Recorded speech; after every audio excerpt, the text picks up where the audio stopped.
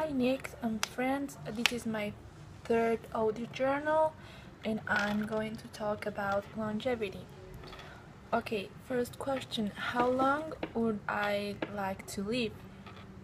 I think that each person and each human being uh, has his one point in which he needs to die.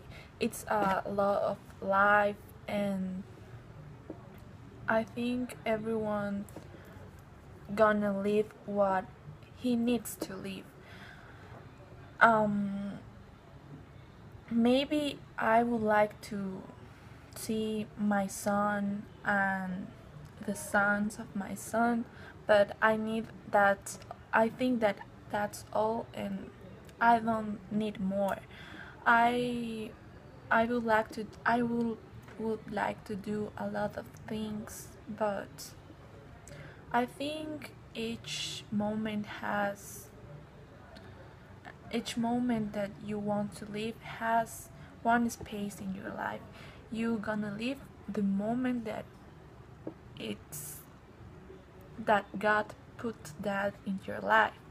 So, what habits uh, would I incorporate into my lifestyle to help achieve, achieve this age uh, okay I don't give a certain uh, one age specifically but I would like to live until 90 90 years old I think and to that um, it will it have a good a good life pacific life um, do a lot of sports and be friendly have a lot of friends because that's one important thing that at older age affect us too much.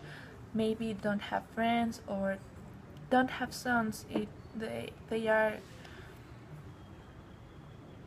different aspects in your life that you can't control. But i think god give the age that he things that you need to live